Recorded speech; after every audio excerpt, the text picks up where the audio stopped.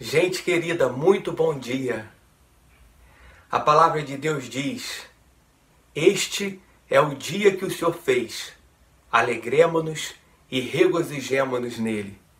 Vamos adorar o Senhor juntos? Vamos fazer isso através da Sua palavra, das nossas orações e do nosso canto.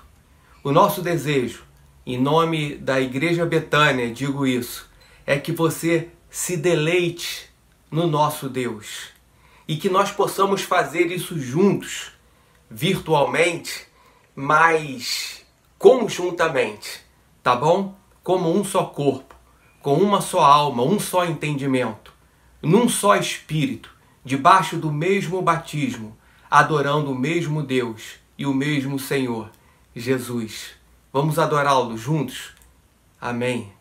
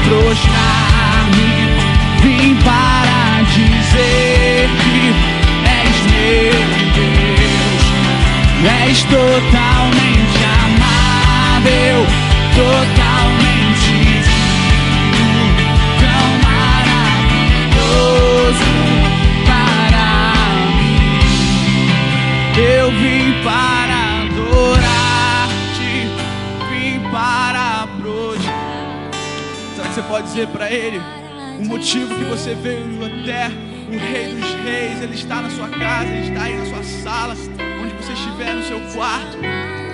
E Ele quer tocar o seu coração essa noite. Então diga para Ele com gratidão, Pai, eu estou aqui para te encontrar, porque eu sei que o Senhor sempre vem. O Senhor é um Deus onipotente, onipresente, onisciente. O Senhor sabe das minhas angústias, sabe das minhas dores. E é por isso que eu venho até a presença do Senhor depositar tudo aquilo que tem me angustiado, tudo aquilo que tem trazido ansiedade ao meu coração. Eu deposito perante os seus pés, porque eu sei que o Senhor tem cuidado de nós. O Senhor é maravilhoso, meu Pai.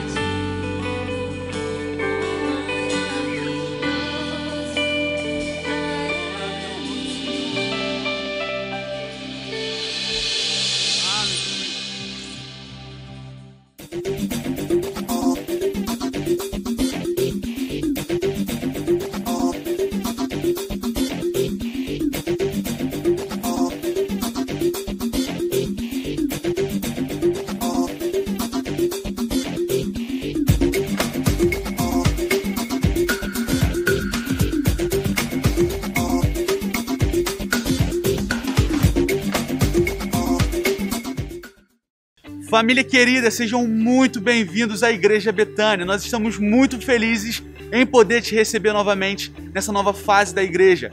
Algumas orientações importantes serão passadas aqui agora, então peço muita atenção. A primeira delas, a nossa entrada será pela Avenida Rui Barbosa, aqui mesmo. E aqui você será direcionado pelos nossos diáconos no estacionamento. Vem comigo que a gente tem algumas orientações importantes para você proceder da melhor forma possível. Vem! O acesso ao templo está concentrado aqui na nossa entrada principal e por aqui você terá sua temperatura medida e o seu nome sendo verificado na nossa lista de inscrição. Lembrando que você deve trazer um comprovante de sua inscrição para ser validado logo na entrada. Aqui na entrada da igreja será disponibilizado um totem com álcool em gel que você vai poder higienizar suas mãos devidamente e então entrar no templo. Em caso de fila, lembre-se de ficar em uma distância segura de um metro e meio. Sempre use sua máscara, dentro e fora do templo. Se você não trouxer a sua, fique muito tranquilo, a nossa diaconia irá te oferecer uma máscara descartável. Aqui dentro do nosso templo nós temos alguns dispensers de álcool gel como esse aqui. E para sua segurança, a nossa igreja tem sido sanitizada periodicamente. Como podem ver, são poucos lugares aqui dentro do templo todos eles separados com uma distância segura para você. E lembre-se, jamais sente em lugares com essa placa, com esse aviso. Qualquer dúvida, chame um diácono. Agora que nós já te apresentamos o nosso novo normal aqui no templo, fique muito atento à sua inscrição. Nós estamos muito felizes em te receber de volta. Contudo, nós não recomendamos a inscrição das pessoas que fazem parte dos grupos de risco e também não recomendamos a entrada de crianças abaixo de 12 anos. Nós nem teremos atividade para elas. O nosso coração está muito animado e muito feliz em poder retornar a esse lugar. Faça sua inscrição igrejabetania.org barra novo normal. Seja muito bem-vindo novamente. Deus te abençoe.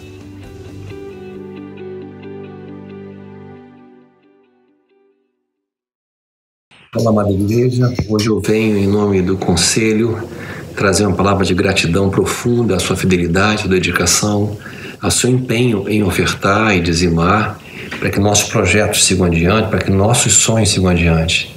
Então eu quero compartilhar um texto bonito da palavra de Deus, em 1 Crônicas 29, versículo 9, em que o povo traz ofertas e o rei se alegra. Olha que texto bonito. O povo se alegrou com tudo que se fez voluntariamente, porque de coração íntegro deram eles liberalmente ao Senhor. Também o rei Davi se alegrou com grande júbilo, pelo que Davi Louvou o Senhor perante a congregação toda e disse: Bendito és tu, Senhor, Deus de Israel, nosso Pai de eternidade e eternidade. Teu, Senhor, é o poder, a grandeza, a honra, a vitória e a majestade, porque teu é tudo quanto há nos céus e na terra. Teu, Senhor, é o reino, e tu te exaltaste por chefe sobre todos. Riquezas e glórias vêm de ti. Tu dominas sobre tudo. Na tua mão a força e poder. Contigo está o engrandecer e a tudo dar força. Agora, pois, ó nosso Deus, graças te damos e louvamos o teu glorioso nome. Porque quem sou eu e quem é meu povo para que pudéssemos dar voluntariamente essas coisas? Porque tudo vem de ti, das tuas mãos tu damos porque somos estranhos diante de ti e peregrinos como os nossos pais. Uma sombra são nossos dias sobre a terra e não temos permanência.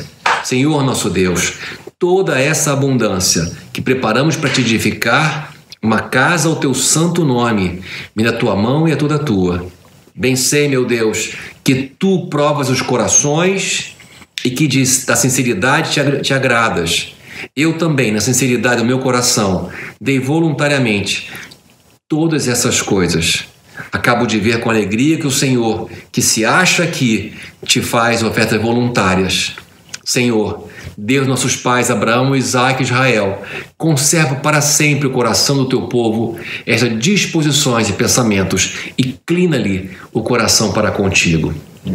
Davi, compartilhando gratidão e júbilo, transbordando de paixão, pelo Senhor e gratidão pelo povo também que se dedica a ofertar ao Senhor, que mostra que há uma relação direta entre o quando nós envolvemos nosso tempo, energia, talentos, dons e dinheiro na obra de Deus, o quanto nosso coração também está ligado nesse processo. Então você tem dizimado fielmente, ofertado fielmente nossa gratidão, nosso agradecimento, nossas orações, porque muito temos feito com tão pouco. Na verdade, nossos desafios são muito maiores do que nós conseguimos lidar. Então, a sua oferta, o seu dízimo, tem um destino de mudar vidas. Não é um dinheiro para gastar em alguma coisa, mas é uma oferta para o Senhor e mudamos vidas com isso. Quero estimular você que não ainda tem esse mesmo coração, considere isso.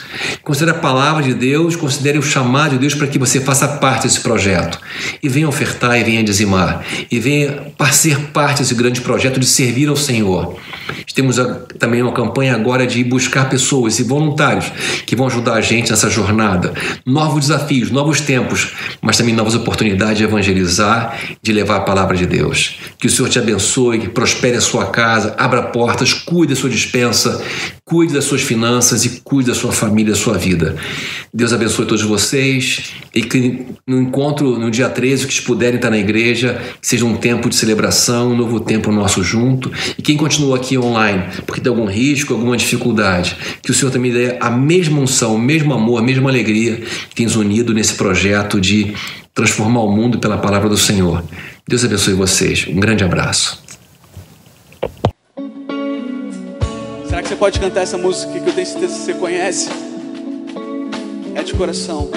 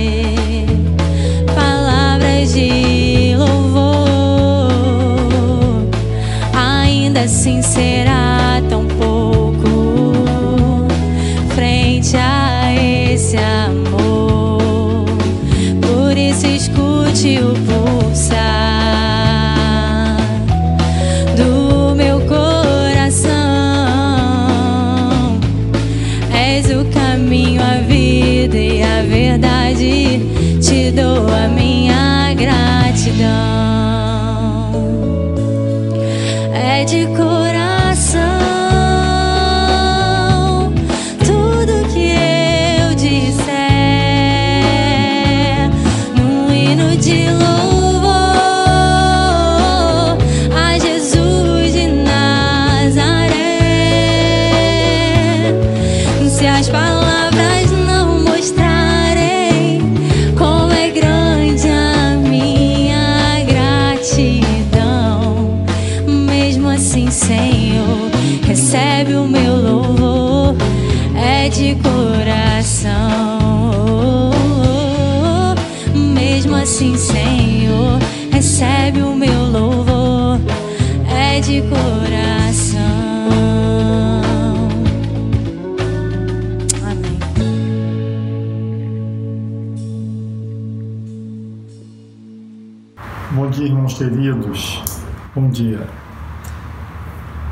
Você pode abrir sua Bíblia, se quiser abrir, se puder, se não só ouça, na carta de Paulo, na primeira carta de Paulo aos Coríntios, capítulo 2, versos 12 a 16.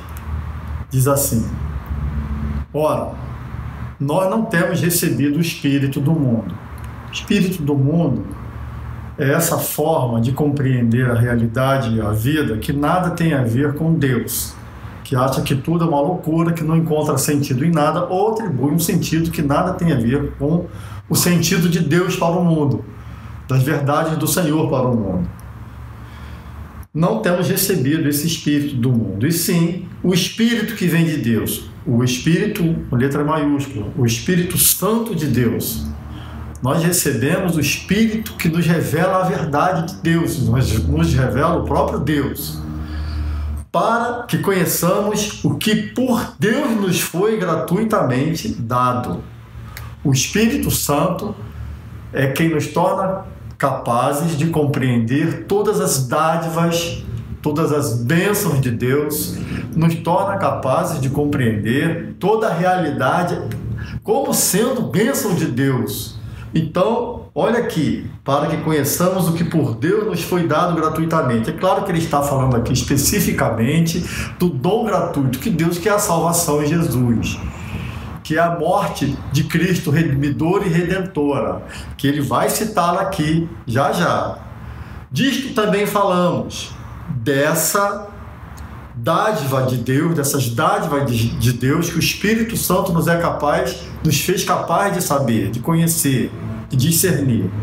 Não em palavras ensinadas por sabedoria humana. Não são coisas que a filosofia ensina, que o saber humano é quem nos faz chegar. Não são mas o próprio Espírito Santo é quem nos revela. Por mais que você pesquise, você não vai chegar à verdade de Deus, a não ser que o Espírito Santo te revele. Toda sabedoria do mundo não é capaz de revelar a verdade de Deus, a verdade salvadora de Deus, a obra de Deus em Cristo Jesus, onde o mais inculto dos seres é capaz de discernir, assim como o mais sábio deles vai compreender que toda a sua sabedoria não é capaz de lhes fazer enxergar essa bênção tremenda de Deus. Então, Disto também falamos, não em palavras ensinadas pela sabedoria humana, mas ele também está dizendo aqui o seguinte: que ele não lança a mão desse recurso de um saber, de retóricas, de encher a sua linguagem de recursos para que o outro compreenda, para filosofias serem conhecidas. Então não há essa vaidade do saber humano aqui, simplesmente coisas ensinadas pelo Espírito Santo conferindo coisas espirituais com espirituais, ou seja, o que vai nos fazer compreender o mundo espiritual é a realidade espiritual, é a verdade espiritual, é o Espírito Santo. Ora, o homem natural, o homem sem o Espírito Santo, o homem sem a dádiva do Espírito Santo, sem a presença do Espírito Santo, não aceita as coisas do Espírito de Deus, porque ele não é capaz de aceitar, não é capaz de compreender, não é capaz de discernir as coisas que só o Espírito Santo de Deus nos faz revelar, como o que salva, quem salva, quem somos nós, a verdade sobre nós, a verdade mais dura e crua sobre o homem, mas também a verdade mais maravilhosa que ele tem a saber, que a despeito de ser pecador, tragicamente pecador, ele é incrivelmente salvo pela obra de Deus, salvífica de Deus em Jesus. O homem natural não aceita as coisas do Espírito de Deus, porque lhe são loucura. Ele não vê sentido, ele não encontra verdade nisso. Para ele, não, são coisas que não fazem sentido. E não pode entendê-las, porque elas se discernem espiritualmente. Só o Espírito Santo é capaz de nos fazer compreender as verdades de Deus, a verdade salvadora de Deus, a revelação de Deus. Às vezes a gente quer forçar alguém a entender, não adianta. É o Espírito Santo que vai usar sim nossas palavras, vai usar também o nosso conhecimento, mas é o Espírito Santo quem torna qualquer pessoa capaz de compreender as verdades de Deus. Porém, o homem espiritual julga todas as coisas, ele é capaz de ter um discernimento de Deus sobre as coisas. Esse é o julga, que é isso, não é que lança juízo, mas é capaz de saber qual a procedência, saber qual a finalidade, conhecer as coisas de fato. Mas ele mesmo não é julgado por ninguém.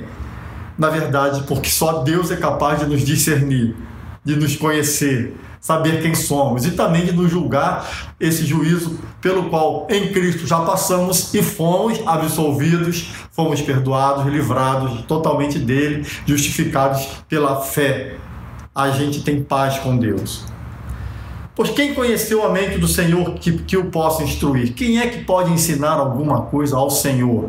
Ele está aqui também já associando Jesus é, ao próprio Deus do Antigo Testamento quando chama de Senhor e também atribuindo a Jesus essa esse, esse, atributo que pertence a Deus, da onisciência, aquele a quem aquele que ninguém pode ensinar nada. Ninguém tem nada a ensinar a Deus, porque ele sabe tudo.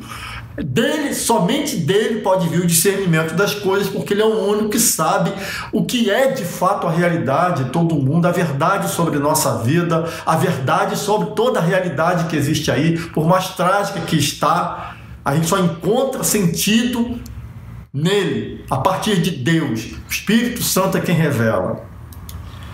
Ele fala, mas nós não ficamos por aí divagando com questionamentos ou tentando achar explicações na filosofia, no saber, ou não ficamos atribuindo ah, o status de loucura de que não tem jeito a todas as coisas. Nós não. Nós temos a mente de Cristo. O que que Paulo quer dizer com ter a mente de Cristo? Ora, ele está dizendo que como eu tenho a mente de Cristo, eu vou ser capaz de discernir a realidade, discernir a verdade de Deus, discernir a, a graça de Deus, conhecer as dádivas de Deus. Ele está falando acima de tudo da obra salvadora, tá bem? Acima de tudo da obra salvadora em Jesus, tá? Então, a mente de Cristo é. E eu fiquei pensando, o que é a mente de Cristo mesmo? A mente de Cristo é aquilo que está na mente de Jesus e a rege. É onde a mente de Jesus está imersa. É aquilo que domina a mente de Cristo. Vamos chamar, a gente pode dizer assim, num antropomorfismo aqui, né? É, o coração de Cristo. O que, que rege ele? Qual é a força motivadora que está na mente do Senhor, no coração do Senhor, aqui na terra? Que o rege, que o, o impulsiona, ou, em outras palavras, qual é a missão que impulsiona a Jesus? Né? Está o tempo todo regendo sua vida. A mente de Cristo é aquilo que a rege, que a comanda, é onde ela está centrada e imersa. Por isso, e é por isso que ela é guiada, por essas coisas que, elas são, são que ela é guiada. A mente de Jesus. Quer dizer que cada ato de Cristo que ele, que ele teve aqui na terra, cada passo que ele deu, todas as suas ações eram regidas por sua mente, que por sua vez era regida pela, pela missão, pela missão que ele vai dizer aqui. A minha comida consiste em fazer a vontade daquele que me enviou e enviar e realizar a sua obra. João 4:34. Estou dizendo, meus irmãos queridos, é que a mente de Cristo era encharcada com o desejo, a vontade, a missão, a missão, objetivo de fazer a vontade de Deus. Quando ele fala minha comida é aquilo que me sustenta, aquilo que me impulsiona, a minha energia para acontecer, para viver, é fazer a vontade daquele que me enviou, de Deus, e realizar a sua obra. Sabe qual é a obra de dele? Isso que é uma coisa fabulosa também, uma riqueza desse texto, e realizar a sua obra. Ora, Jesus lhes asseverou lá no Novo Testamento: a obra de Deus é esta, que creiai naquele que por ele foi enviado. Ele mesmo. Jesus está dizendo: a minha comida, a minha, na minha mente, o comando da minha mente é fazer a vontade daquele que me enviou e realizar a sua obra.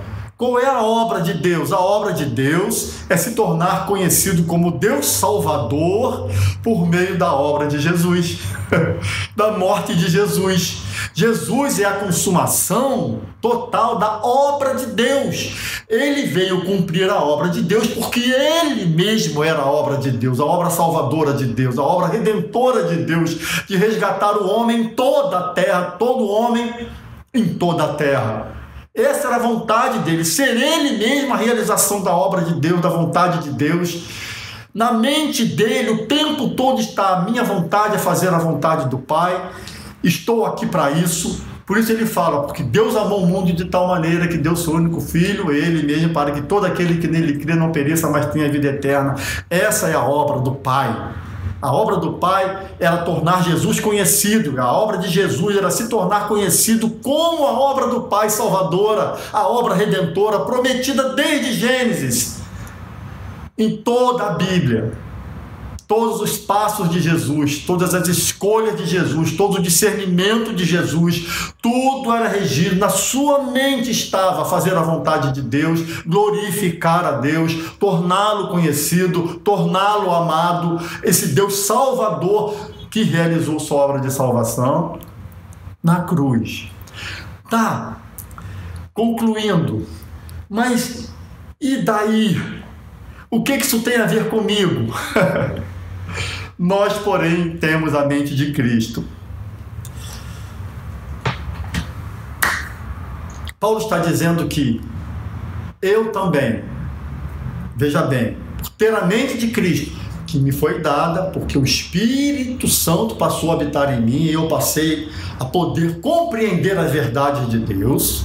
Um, a mente de Cristo é eu compreendo as verdades absolutas, soberanas de Deus eu compreendo, eu sou capaz de ler a sua palavra e compreender. É claro que não é de uma vez só, é claro que exige estudo, é claro que exige discipulado, mas eu sou, eu sou capaz de compreender essa palavra, de compreender, discernir a vontade de Deus e perceber a realidade espiritual que rege a terra, que está diante de nós, esse mundo espiritual que está aí.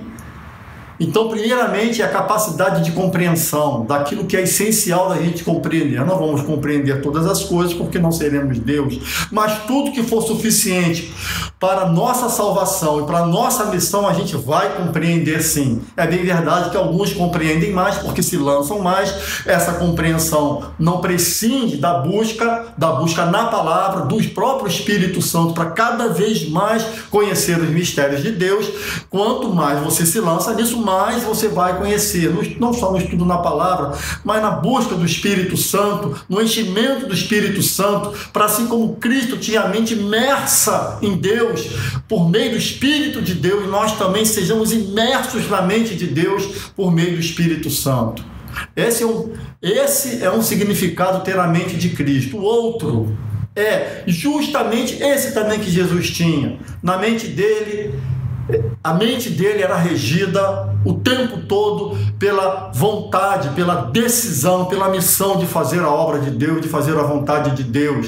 E a obra de Deus era tornar Jesus conhecido como a consumação da sua obra redentora, salvadora, restauradora, consertadora de toda a terra, de todos os homens, que perdoa todo o pecado e vai construir um novo reino prometido nas Escrituras. Então, da mesma forma que, eu, que Jesus, Eu devo ter a mente de Cristo, ou seja, tudo na minha vida, meus, meus atos, minhas escolhas, minhas buscas, minhas decisões, tudo de algum modo tem que estar submisso, sujeito, a serviço dessa missão de tornar a obra de Deus salvadora conhecida que é Jesus. A pergunta é: tudo que fazemos em nosso trabalho, as nossas conversas, os nossos atos, os nossos alvos, os nossos objetivos na vida, as conquistas que queremos fazer e já fizemos, a nossa profissão, a nossa vida familiar, em todas, em todas as suas dimensões, todas essas coisas estão realmente encharcadas com a missão de tornar a obra de Deus conhecida. Compreende? Ter a mente de Cristo é isto que eu faço, isso que eu quero, isso que eu sei, isso que eu estou construindo, isso que eu estou criando, isso que eu estou fazendo, isso que eu estou sendo, minha vida inteira tem que contribuir para ser algo onde Deus, o Deus redentor, o amor de Deus é conhecido. Ter a mente de Cristo é também em tudo que eu faço e que eu sou, eu quero que Deus seja revelado e a obra dele seja revelada. Eu repito, a obra de Deus é tornar Jesus conhecido como a obra de Deus que redime, que restaura, que conserta, que perdoa, que absolve, o Deus restaurador, o Deus remidor.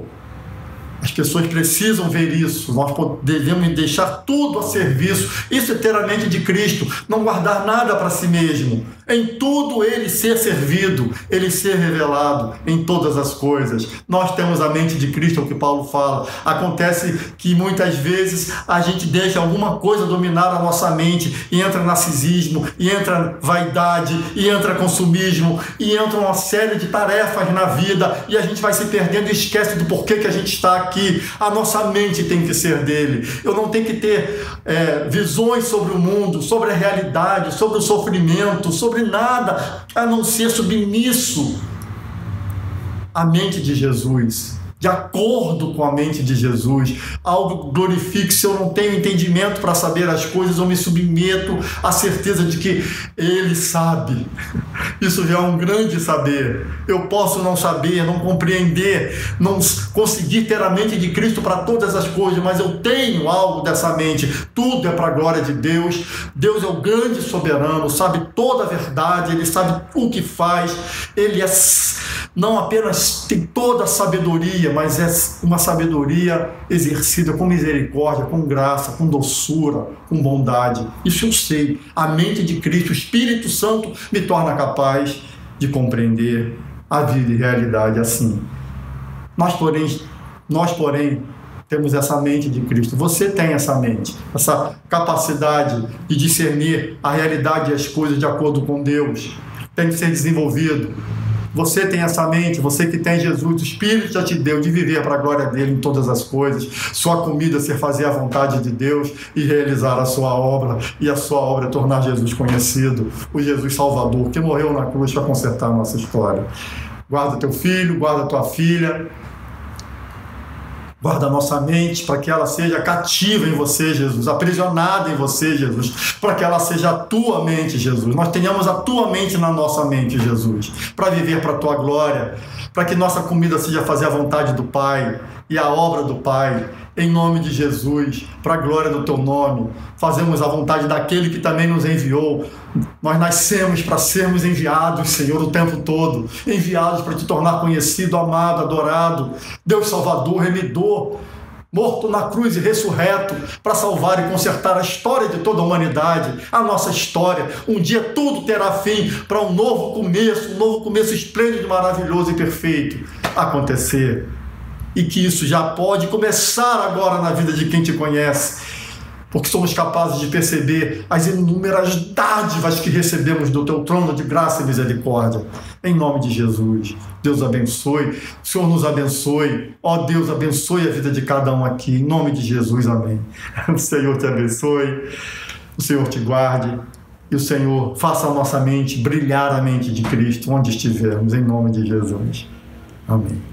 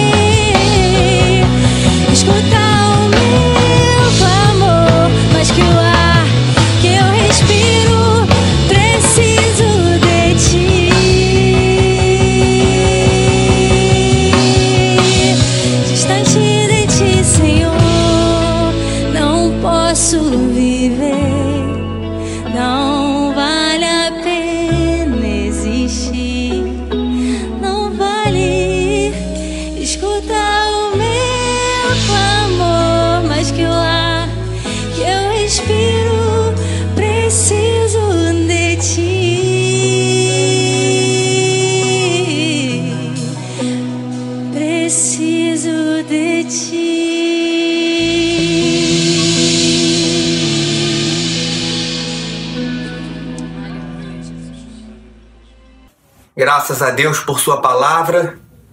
Que bênção participarmos desse culto. E agora, irmãos queridos, orarmos e recebermos a bênção apostólica. Deus abençoe sua vida profundamente. Vamos orar? Jesus, obrigado pela tua palavra, obrigado pelos louvores, obrigado porque podemos cultuar ao Senhor juntos, com um só coração, uma só alma e num só espírito. Louvado seja o teu nome. Queremos te agradecer pelas tuas bênçãos, Pai. Queremos te agradecer porque o Senhor tem sustentado a nossa vida em cada dia, em cada momento. Temos encontrado refúgio no Senhor e temos encontrado também sentido para a nossa vida na tua obra, no relacionamento com os nossos irmãos, na mutualidade e na reciprocidade do corpo de Cristo. Louvado seja o teu nome, obrigado por tão grande salvação.